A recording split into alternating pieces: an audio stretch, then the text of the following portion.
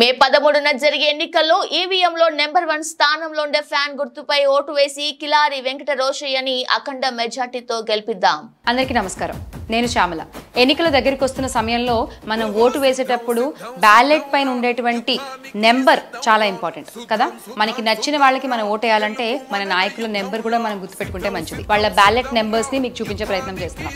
Guntur MP అభ్యర్థి Kilari Venkata Rosaiah ballot number one. చూద్దాం చూద్దాం రా గెలుపు మనద యుద్ధంలా